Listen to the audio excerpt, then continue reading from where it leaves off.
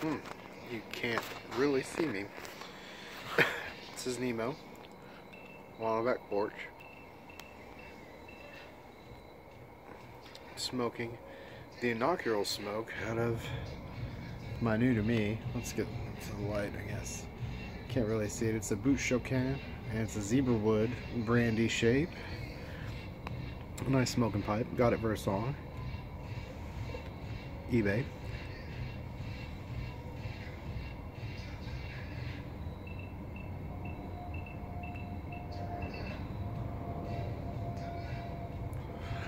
There are people having a party.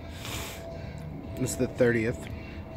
Um, trick or treating is tonight because of inclement weather. For tomorrow, yeah, the lighting sucks. I apologize. Just wanted to share. Yes, I'm dressed as a hipster. I took my son trick or treating. Um, my mustache curl has gone down. I was in full handlebar.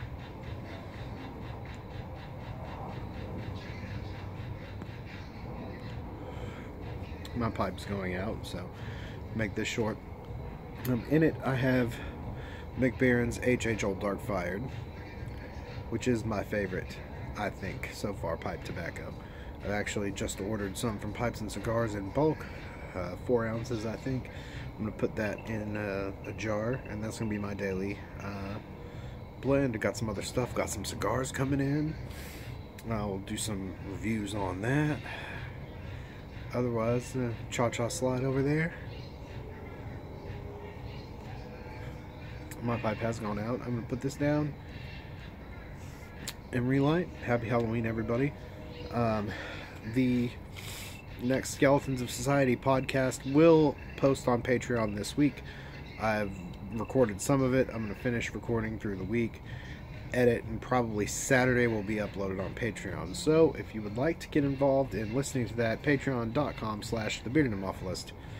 As little as a dollar a month, you can get my uh, podcast, The Skeletons of Society. Um, you can ask the other patrons. They seem to like it so far. And there is that. And I need to get this life coach hat off and relight my pipe, enjoy it, and go to bed. Um, Fun fact in this episode of the Skeletons of Society podcast, I will be reviewing Samuel Adams Oktoberfest. Yeah, yeah, it's going to be in the podcast this week when it posts this weekend. Yeah, stay tuned, please enjoy, and I will see you later. Auf Wiedersehen.